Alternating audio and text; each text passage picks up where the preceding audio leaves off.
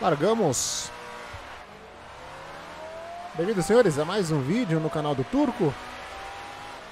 Mais um videozinho que eu estou usando vocês como cobaia. Testando mais uma vez uma câmera fixa.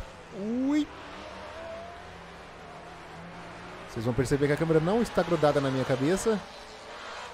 Ela está fixa, centralizada com os monitores aqui. Ah, tem alguns vídeos no YouTube muito bons nesse sentido. O do DigiProst é o mais famoso deles. E eu acho que eu consegui cons alguma combinação de luz, posicionamento de câmera, regulagem de câmera, tudo para ficar um pouco parecido com a qualidade dos vídeos dele que eu acho sempre muito legal. Estamos em Zandvoort.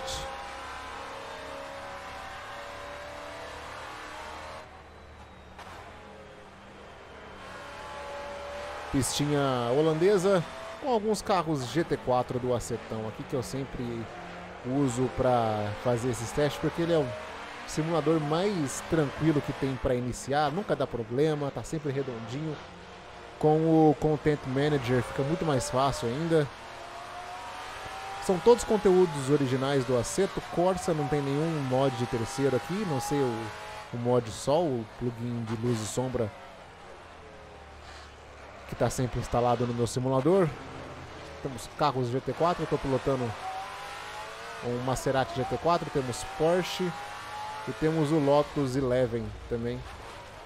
Tudo GT4 aqui, tudo misturado e embolado no grid, cinco voltinhas.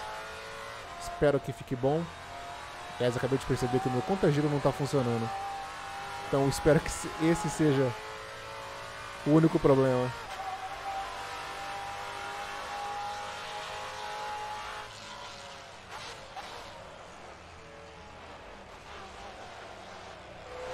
A dirigibilidade dos GT4s do, do Assetto Corsa é impressionantemente diferente quando comparado com o do iRacing. Cara, nada no iRacing é fácil. Aí eu pego esse... É, não falando que os carros do Assetto Corsa são fáceis de pilotar, mas...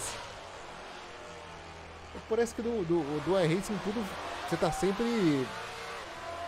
A, um, a uma freada de, de perder o equilíbrio completamente e sair fora da pista. Não sei o que, que acontece lá.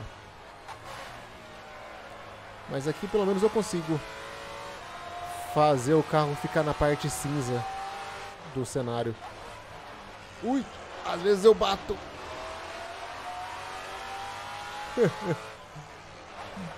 Não é a prova de estupidez. Olha o Lotus Eleven na nossa frente.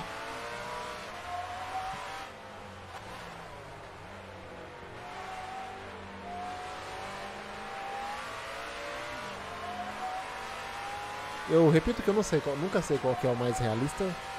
Eu nunca pilotei nenhum desses carros. Eu tenho certeza que as duas empresas fazem o máximo para trazer o maior realismo possível, já que são dois simuladores extremamente focados nisso mesmo, em simulação. Então não tem, não tem alívio aqui em nenhum dos, dos dois simuladores.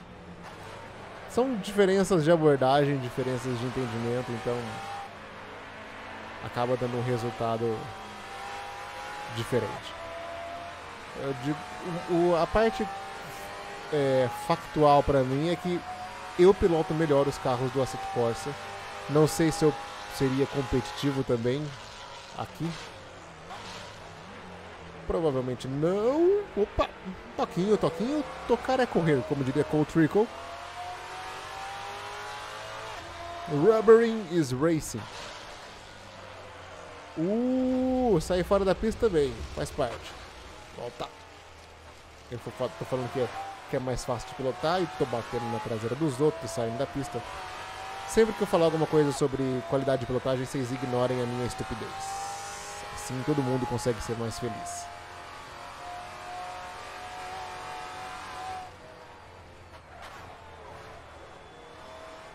Muita calma.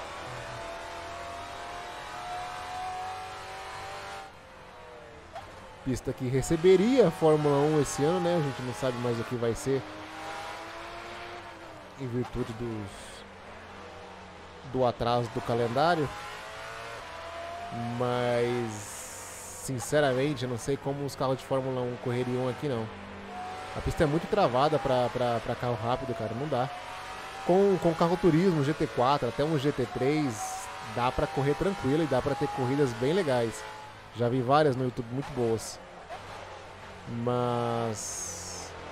Fórmula 1 é impossível, cara. A pista é estreita, travada. Eles modificaram, modificaram algumas partes, né?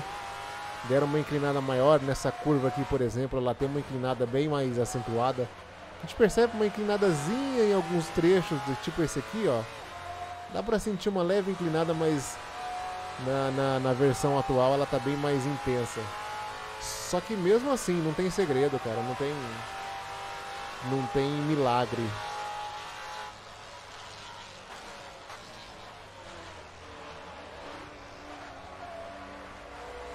Então, não sei como seria, mas temo que não veremos como será esse ano. Estou para dizer que a Fórmula 1 vai cancelar todas as corridas de 2020. E pela primeira vez desde 1950 não teremos um campeonato de Fórmula 1. Olha, acho muito difícil. A não ser que as coisas na Europa se estabilizem muito rapidamente, mas não sei não. Porque Tá muito no começo ainda a epidemia. Ó a treta ali na frente, bem legal. Veremos, vamos ver. Lotus Zito 11. Os Lotus estão entre os carros mais legais para mim do Assetto Corsa. Eles têm uma uma uma, uma variedade bem interessante. E todos são sempre muito gostosos de pilotar. Todos de tirando os, o Fórmula 1, né, que tem aqueles Fórmula 1 lá esquisitos da, da daquela Lotus esquisita, enfim. Mas todos os Fórmula, todos os carros de carenagem mesmo, de roda fechada, digamos assim, são bem gostosos de pilotar. Os Fórmula 1 eu não sei dizer, volta. Porque eu sou tão ruim que não tenho capacidade de de analisar. Vamos para a última volta. Se vocês verem a se vocês verem esse vídeo no YouTube é porque eu achei que a, quali que a qualidade da, da gravação ficou boa, senão vocês nunca vão ver esses vídeos, esse vídeo aqui. Provavelmente não vai ficar perfeita, mas eu estou tentando corrigir o que vocês falaram de ficar muito branco ah, e não dá para enxergar a imagem direito. Tô deixando as cores um pouquinho mais vivas que o normal. Dando uma corrigida na sombra também. Vamos ver. Aí vocês falam o que, que acharem. Tá? Se tá muito claro ainda. Vamos, tentando aqui. Eu sempre, eu sempre gosto de testar coisas novas. Vamos tentar ultrapassar esse filho da mãe também. Uh, não sai não. Volta. A tática, a tática para pegar mais embalo. Ultrapassagem na última volta. Uh, que travada. Travou tudo ali, cara. Meu Deus, isso, é um, isso não foi um stuttering, foi um terremoto. Ah, uma pausa no espaço-tempo ali. Vamos lá, última curvinha. Não, última curva não, né? Última sequência aqui. Agora sim a gente vai para a última curva. Antes que eu erre.